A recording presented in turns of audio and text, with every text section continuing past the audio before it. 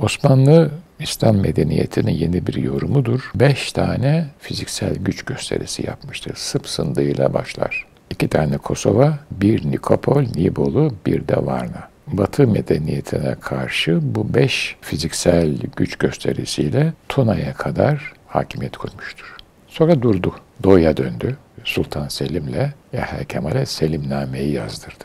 Ben tarihi böyle okurum. Bursa Büyükşehir Belediyesi'nin katkılarıyla hazırlanan Süleyman Aşk Dilin Bilir Dediler başlıyor.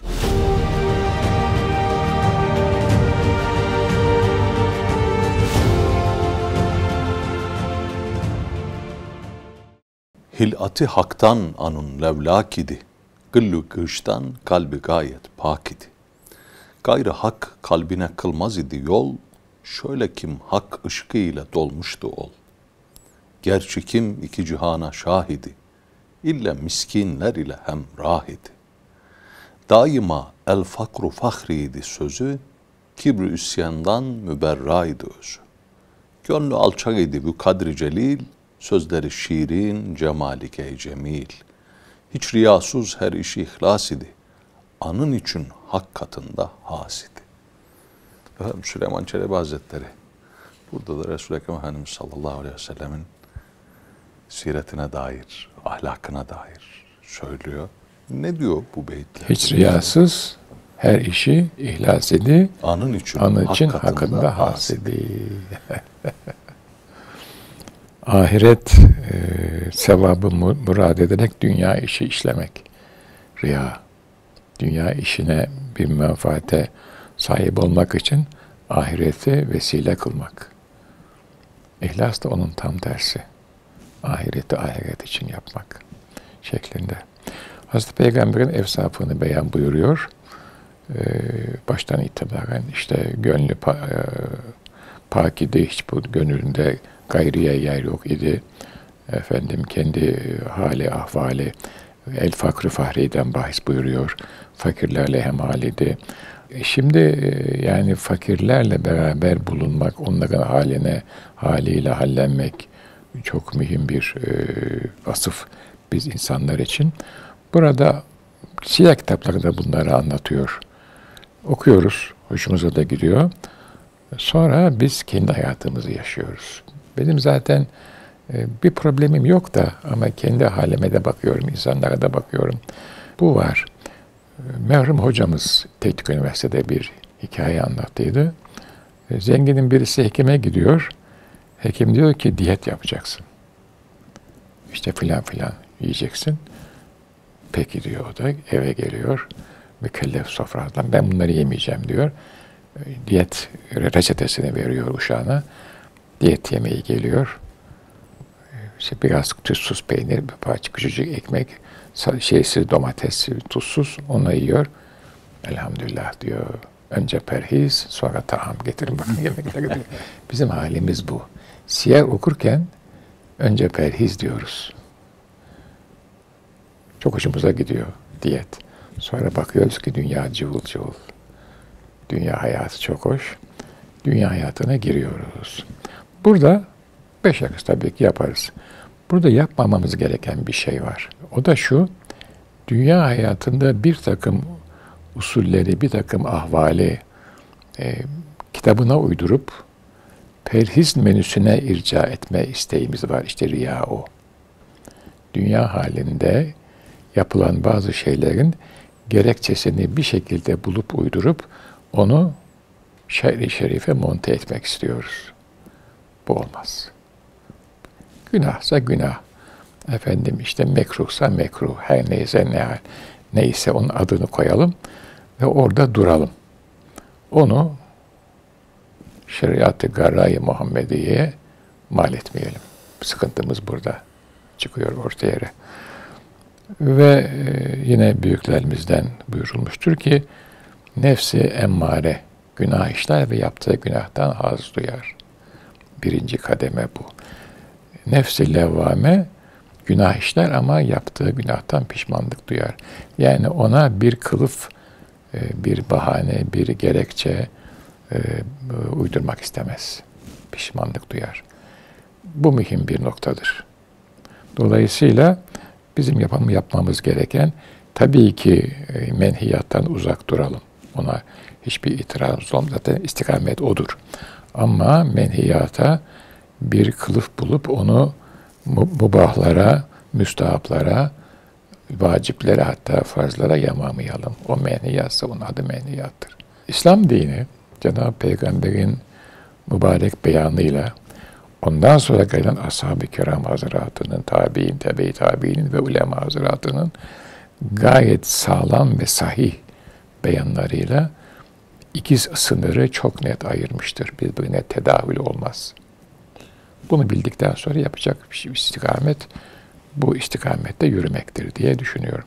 Orada da bahsettiği Hazreti Peygamber'in evsafı, o evsafın insana vereceği e, vaat edilen ahval, o ahvalinde karşılığında işte muhlis olmak, riyadan beri olmak. Yani ahiret ameliyle dünya menfaatini cezbetmeyi, celbetmeyi murad etmemek. Alvar nefazetleri geliyor gönlüme efendim. Hani felekte hasılı insan isen bir canı incitme, günahkar olma, fahri alem zişanı incitme. Evet. Bu hani günaha da, günahtan uzak durmaya da muhabbeti Muhammedi Aleyhisselatü Vesselam'a bakmak. Tabii, tabii, tabii, tabii. Yani Hazreti Peygamber bize Rauf Rahim yani en çok ümmetini kollayan, arayan, soran ve ümmetinin bir kötü hali zuhur edince ruhu Muhammedi e, incinen yani ızdırap duyan bir hazret yani öyle yaratılmış. Dolayısıyla ruhu Muhammedi'yi incitmememiz lazım. Benim bir dayızadem vardı. Çok hoş bir hanımefendi ablamızdı. Allah'tan korkmuyor, kuldan utanmıyor derdi. Küçük ama küçüklüğünden itibaren. Allah'tan korkmuyor, kuldan utanmıyor. Peki kuldan utanmıyor nedir? Cenab-ı Peygamber'den başlangıçta diye söylerdi. Yani. O da kul çünkü. Allah'tan kork, Cenab-ı Peygamber'den utanmıyor. E niye görüyor çünkü her halimizi? Görmez olur mu? Haberdar ümmetin halinden. Ümmeti güzel bir şey yapınca Fahri Alem sürür duyuyor. Ümmete yüz kızartıcı bir şey yapınca üzülüyor. Ne yaptı ki diyor bunu yani. Çünkü hakikati biliyor. Böyle işte biz de burada konuş biz de burada konuşturuyor ileri geri yani. İşte böyle hadise. Safı anlattıktan sonra şöyle bir beyit var. Ümmet isen anın ahlakını tut ta ki ümmetlik bula sen de sübut. Ha. Aa, bu çok güzel bir şey. Ben şimdi zaten buradan yola çıkarak söylüyorum her zaman. Derslerimde de söylüyorum. Yani bir medeniyetin e, gerçek manada medeniyet olması için kitap sayfalarında kalmaması lazım. Ne olması lazım? İtikadın amele tebliğ edilmesi lazım. Daha açık konuşalım. İnandığımız gibi yaşamamız lazım. Bu çok genel bir söz. Yani eğer siz Marksistseniz inandığınız gibi yaşamak mecburiyetindesiniz. Kapitalistseniz ki şu anda o çok geçerli, bir kapitalist gibi yaşamak mecburiyetindesiniz. Hakikaten gerçek kapitalistler bir kapitalist gibi yaşıyorlar. İnandığını hayatına tatbik ediyor. Küreselciler de öyle yapıyorlar şimdi. Marksistlerin o şansı ellerinden alındı. 40-50 sene evvel öyle yaşıyorlardı, şimdi öyle olmuyor. Bir zamanlar Allah onlara böyle bir imkan verdi. Şimdi böyle konuşurken eş dost biraz da bir hayretle bakıyorlar. Ben Karl Marx'ı kim yarattı diyorum. Hiç düşünmemişler. Peki Das Kapital'i ona kim yazdır diyorum. Onu da düşünmemişler.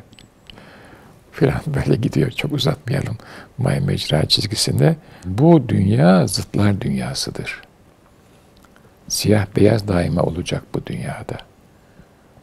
İnsanın zaten meleklere tefevvuku orada ortaya çıkıyor. Meleklerde sadece beyaz var, gri bile yok. İnsanlarda siyah beyaz var. Siz fark edip, tefrik edip, Ömerül Faruk tefrik ediyorsunuz ve oradan yürüyorsunuz yani. Marx'ı da o yarattı, kitabı da o yazdırdı. Onlara bir müddet verdi.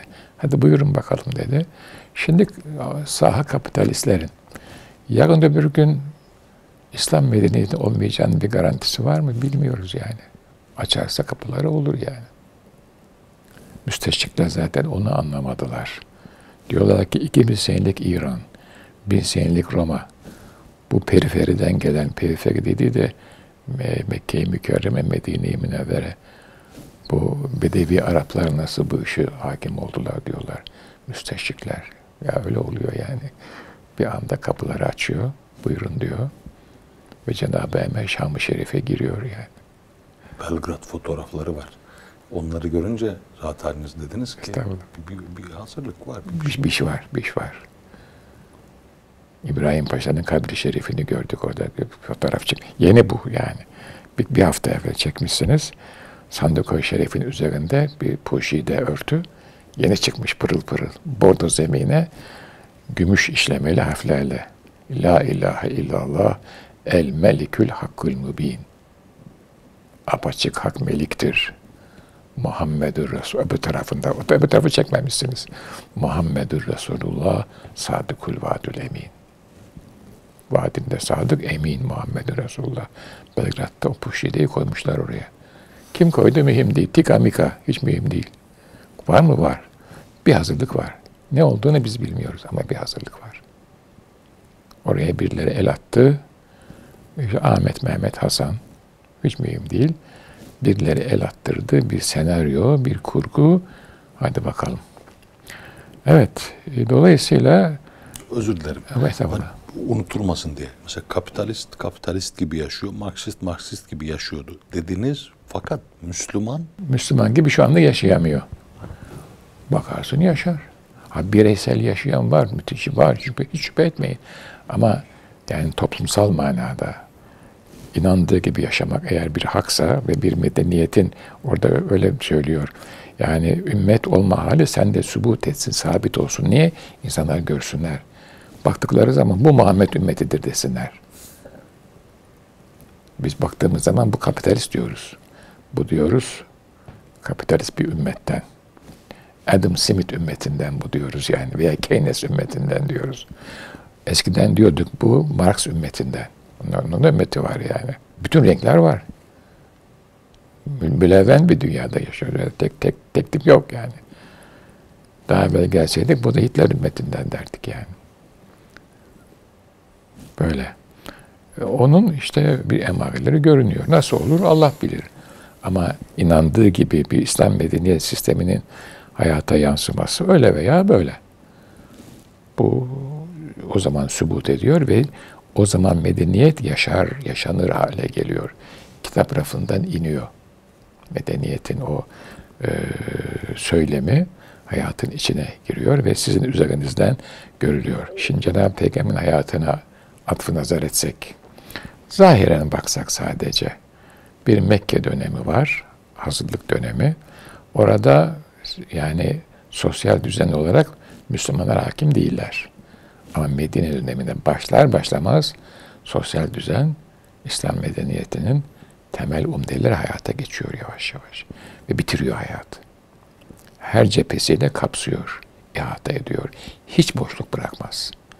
Ve bu medeniyetin, İslam medeniyetinin şemsiyesi altında bütün insanlara yer vardır. Mesela modernitede bütün insanlara yer yoktur.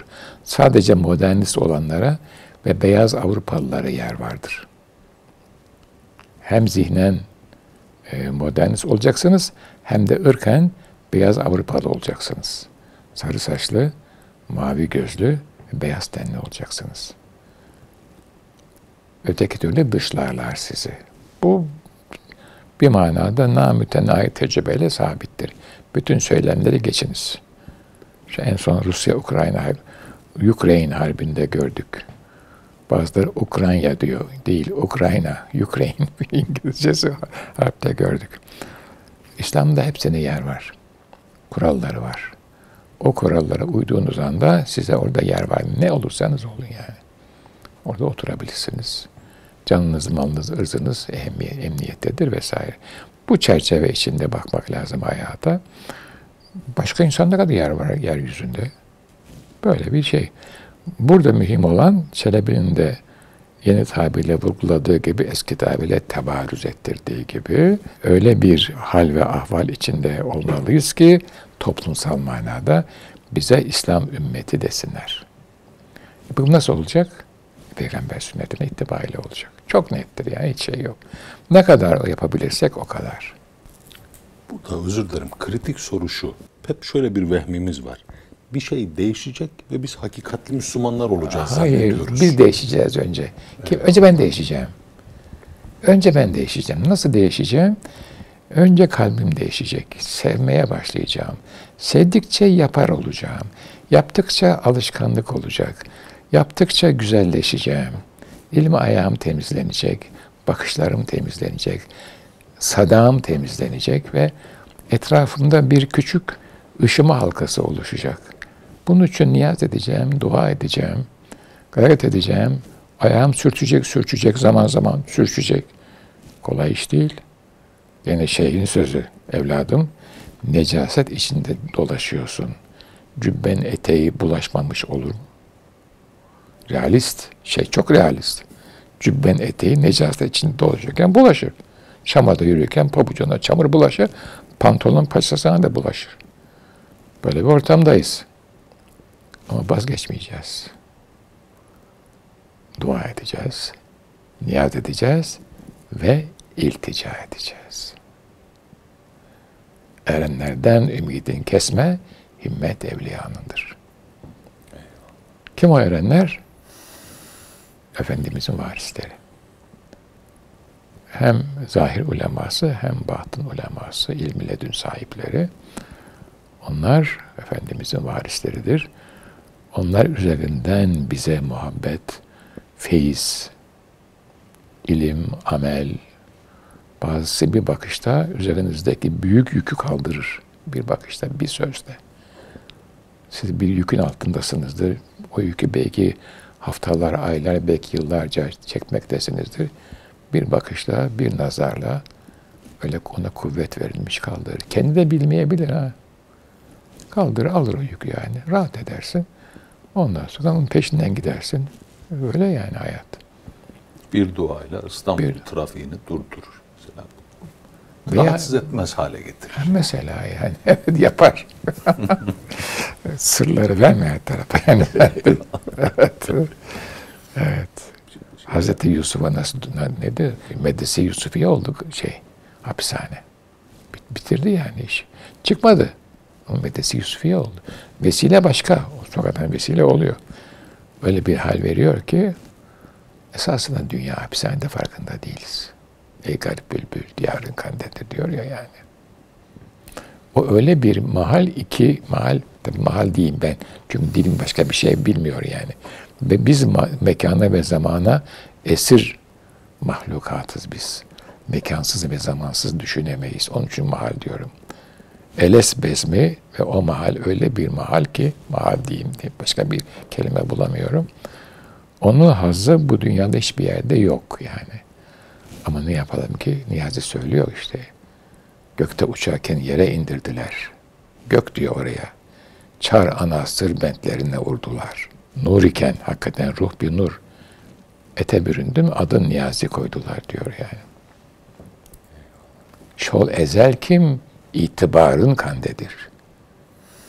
Ezeldeki itibarın nerede bu dünyada? O gelen bir tokat vuruyor, bu gelen bir tokat vuruyor. Tokat vuran da padişah yani. Hazreti Limni'ye sürüyorlar. Dua yerine geçsin inşallah. Hazreti Merkadi ihya edilsin. Oradaki insanlara da zulmedilmesin. Onlar da gönüllerine gelsin Hazreti Niyazi. Oradaki bir apartman varmış üzerinde. Onun sahibine istediği kadar apartman dünyada nasip olsun. Artık feyiz mi ister, aluç mu ister bilmem onu yani. O himmet mi ister? Ama Hazreti Niyazi'nin kabrini biz bir görelim yani inşallah. İnşallah.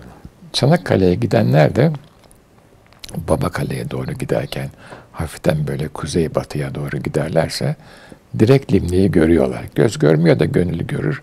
Oradan en azından üç ihlal bir Fatiha okusunlar.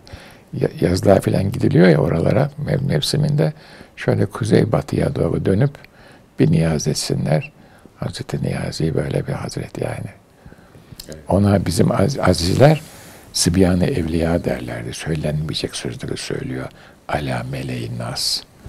E o zaman da tabii Nas'ın muhafızı olan, zahir muhafızı olan Hazreti Padişah da iki tokat vuruyor yani ne yapsın onun da, onun da işi o yani. Eli acıyor ama yapacak bir şey yok yani. Eyvallah. Efendim Sırbistan'da ikinci Bayezid Veli e, ihramını sermiş. Tam böyle karşıda Romanya gözüküyor. Aradan Nazlı Tuna akıyor. Manzara hoşuna gitmiş. Demiş ki buraya bir kale yapın. Ram Kalesi. Ya. Bu suretle yapılmış. Şimdi orada Ram Kalesi'nin eteğinde Tu- Tuna'dan abdest aldım bu arada Sadi Baba. Tuna'dan abdest alabilmeyince yunabilmezler diye şair geldi aklıma. Tam Ram Kalesi'nin eteğinde Tuna'dan bir abdest aldım. Türk oldum. Orada siz çok seversiniz. Yahya Kemal merhumun bir sözü geldi hatırıma ve onunla başladım röportaja. İfade şu idi. Söyledim de manasını size soracağım. Yahya Kemal ne diyor diye. Bizim buralardaki varlığımız böyle bir denizin gelip çekilmesi gibi. Deniz çekildikten sonra da geride bir tuzu kalır, tortusu kalır. Şimdi kalbimdeki niyaz şu, bir kez daha deniz oraları gelsin. E gidiyor zaten. Şu anda gidiyor. Fiziksel gitmeye gerek yok. Manen oradayız. Etik alan olarak oradayız. Kültürel manada oradayız.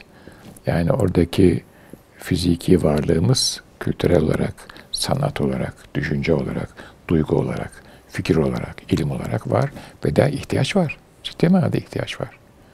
Gidiyoruz rahat bir şekilde. Şey değil. Tabii Yahya Kemal Bey ciddi bir hicran yaşamış bir adam. O çok mühim bir insan yani. Ee, Bir medeniyetin çekilişini görmüş, fiziki çekilişini görmüş. Ee, Gördüğü zamanlar çok genç, algılayamamış. Ama sonra e, Garba gidip orada uzun müddet kalıp oradaki fikri derinliği yakalayınca dönüp tekrar burada Osmanlı Bakiyesi İstanbul'u görünce yani Osmanlı Bakiyesi İstanbul'u görmese gene onu söyleyemezdi. Nelerin kaybedildiğini fark etmiş ve onu şiir diliyle ifade etmiş. Bir yaz günü geçtik Tuna'dan kafilelerle. Estergon'da okudum bunu. Değil? Estergon'dan Tuna'ya bakarak okudum. Cennette bugün gülleri açmış görürüz de hala o kızıl hatıra titrer gözümüzde. Bin atlı akınlarda çocuklar gibi şendik. Bin atlı o gün dev gibi bir orduyu yendik. Bu zahirde bir hamaset şiiri gibi görülür. Aynı zamanda bir medeniyet şiiridir. Her medeniyetin gerektiği kadar fiziksel güce ihtiyacı vardır. Bedri ve Uhud'u ve Hende'yi unutmayınız beyefendi. Onlar olmadan Mekke fethedilmez. Her medeniyetin bir miktar gerektiği kadar fiziksel güce ihtiyacı vardır. Osmanlı İslam medeniyetinin yeni bir yorumudur. Varoluşunu fethe kadar ispatlama sürecinden geçmiştir. Beş tane fiziksel güç gösterisi yapmıştır. Sıp sındığıyla başlar. İki tane Kosova, bir Nikopol, Nibolu, bir de Varna. Batı medeniyetine karşı bu beş e, fiziksel güç gösterisiyle Tuna'ya kadar hakimiyet kurmuştur. Sonra durdu. Ben tarihi böyle okurum. Doğu'ya döndü. Sultan Selim'le Yahya Kemal'e Selimname'yi yazdırdı.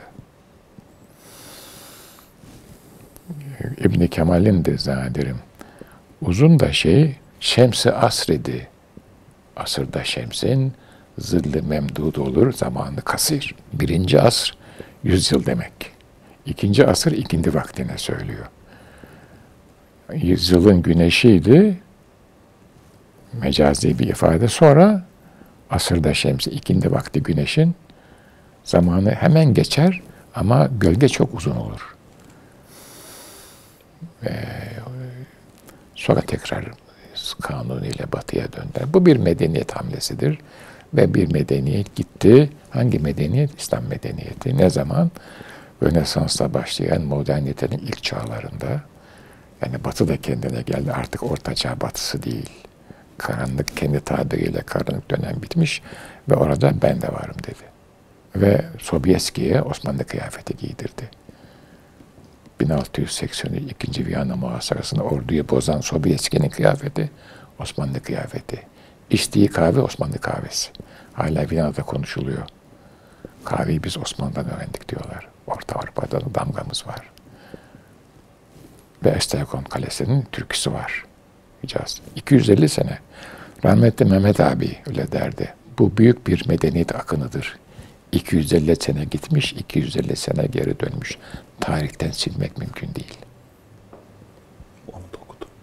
Akma tuna akma ben bir dertliyim. Estergon'u vermiş Karabahatlıyım. Ya Şiir öyle bitti. evet. Şeyi de çekmişsiniz.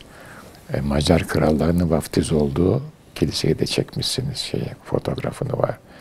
Bin senelik kilise. O da vaftiz ediyorlar kralları. Bu böyle dünya falan yani. Tekrar varlığımızda inşallah oradayız. İslam medeniyeti, sünnet-i seniye sağlam, ashab-ı kiram sağlam. Ondan sonra ehl-i beyt sağlam. Kayda geçsin. Bugün nesiller dinlesinler. Ya Sizin ifadelerinizle bitirelim bölümü İslam medeniyetinin Osmanlı yorumu pek sevdiğim bir çok mühim. Çağdaş, reel. Biz onun devamıyız çünkü. Ve bu yorumun mutabakat metni Süleyman Çelebi Evet. Hazretleri'nin Mesiletün Evet. Necat. Bir tanesi o. Birisi Muhammediye, Ahmediye. Ya bunlar çok mühim şeyler. İnşallah bir gün onları da konuşuruz. Yok ya kısmet. Niye olmasın? Ama destur verirseniz şöyle bitireyim mi? Buyurun. Sultan Selim evveli rahmet meyüp ecel fethetmeliydi alemi şanı Muhammed'i. Ya işte bu kadar. Sultan Selim Han'a bir Fatiha niyazı. Bu da şair sözü yani. Hani tam yerinde değil mi yani? Eyvallah. Eyvallah. Fatiha. Muhammed sallallahu